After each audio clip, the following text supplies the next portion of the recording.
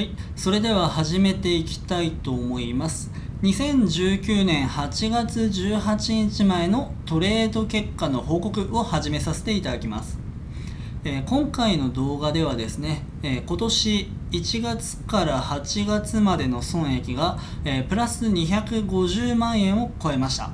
えということで、その嬉しさのあまりに動画にさせていただきます。今週のトレード結果ですね。8月12日の週は確定損益が34.5万円。含み損益が96万円。単年累積が266万円になりました、えー、ついに、えー、累積がですね250万円を突破しました。えー、なんですけれども7月15日の週と7月29日の週にそれぞれ20万円以上の損切りをしています。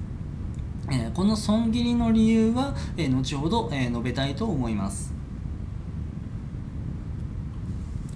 ロジックごとの成績ですね、えこれまでの、え成果と、えそれが全体の何パーセントなのかというのをちょっと計算してみました。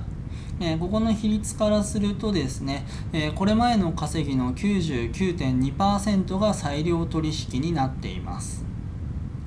えー、っとですね、とりあえず勢いで作ってみたので、ちょっとマイナスの計算が少し間違ってる気はするんですけれども、まあ、それはおいおい直していこうかなと考えています。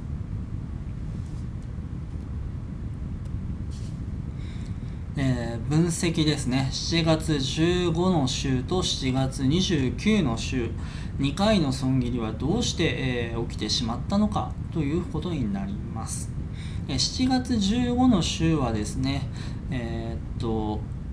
ドル高トレンド、まあ、つまりユーロドルでいうと売りで入るトレンドだと思っていたんですけれども、えー、大きな、えー、ヘッドショルダーってやつですかね。それが発生していて、えー、っとこれは買いに転換するんじゃないのかなと思ってしまって、えー、まあ、売りを入れました。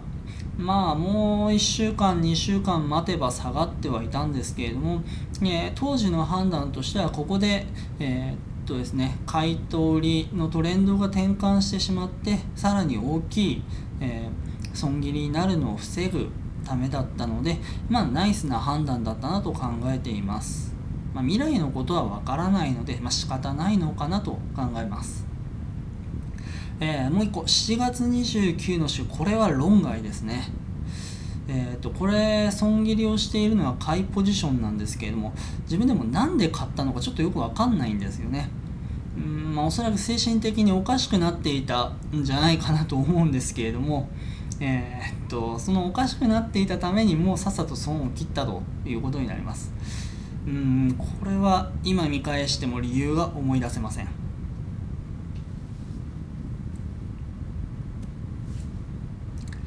さて、えー、っと、分析は置いといて、来週の予想ですね。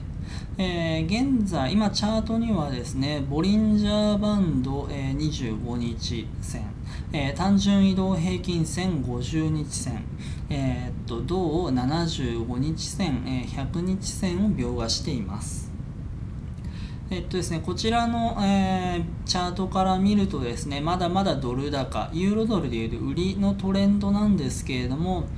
うんとボリンジャーバンドの2シグマのところに、えー、まあ、ヒゲが引っかかっているので、おそらく来週は上がると思います。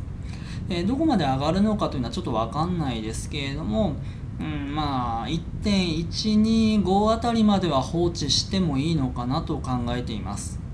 えー、止まったところでですね、え、また改めて売りを入れて、え、狙っていこうかなと考えています。オワンダのオープンオーダーを見ています。えーとですね、こちらを見てみますとロングのえー、まあ、買いポジション、ロングのオーダーがですね、1.125のとこにぴょこんとあるので、まあ大体このくらいまで、いくのかなと思います。